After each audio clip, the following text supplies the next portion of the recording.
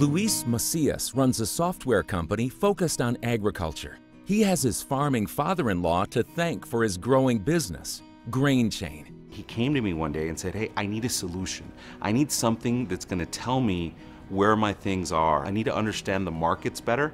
I'm a farmer, I'm not a broker. Luis saw the potential of connecting every participant in the grain supply chain on a blockchain-enabled digital ledger. That means producers, storage operators, buyers, transporters, all linked together.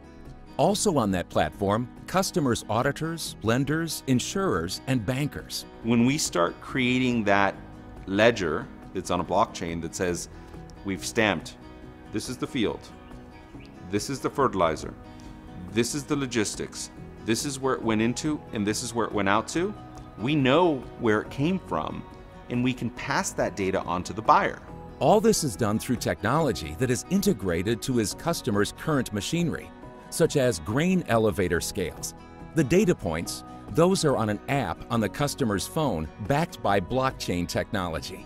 That in itself is one of the biggest benefits of a blockchain system is the trust that you have because of that ledgering that's occurring of every data change that happens with that information is that should give any user of a system more confidence that they will always be able to see what's real and what's current. Because of that trust in the data, Grain Chain often gets the banks to pay for the integrated technology. The way we sell it to the banks is saying, if you implement this kind of technology, your money is safer. It's lowering the risk of default. It's lowering the risk of fraud. It's lowering the risk of uh, having an opaque transaction. The data on the blockchain is anonymous and owned by the supply chain participants. The owner of the data has the ability to elect information which is shared freely to everybody, shared discreetly on a bilateral basis, or not shared at all. They can say, you're allowed these three tidbits,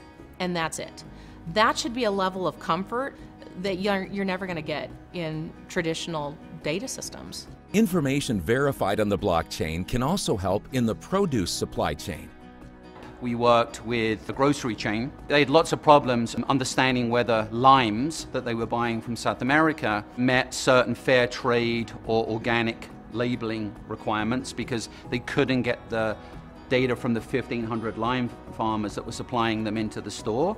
Blockchain collected all the data, had evidence of the certain certifications that were attached to pallets and boxes of limes that they moved through the value chain.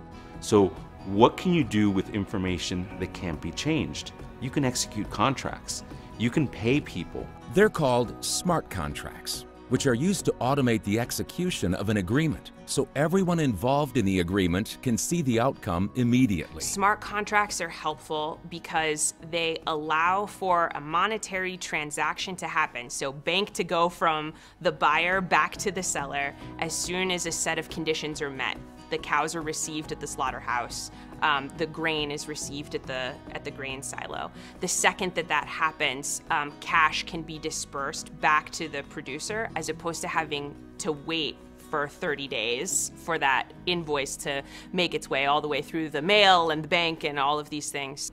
That means when a farmer goes to one of my grain elevators and drops off corn, the minute he drops it off, he can get paid. And that's a game changer. When we talk to some of our customers, they want to know, is it going to save them time? Is it going to save them money? And is it going to get them paid faster? And I think that we check all three of those boxes. So I don't believe at the end of the day that it's the farmers and ranchers that are going to embrace blockchain. They're just going to have products that actually embrace blockchain for them. What do I foresee the future of blockchain like? I mean, it's happening now.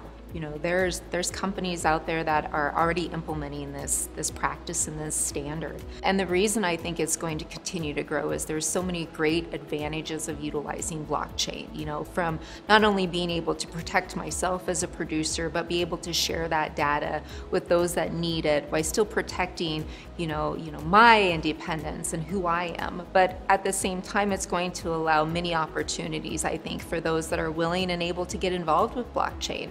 And I think the sky's the limit for it as far as we're concerned, and I'm and I'm hoping that there's going to be continual development on it, and especially in its involvement in ag for sure.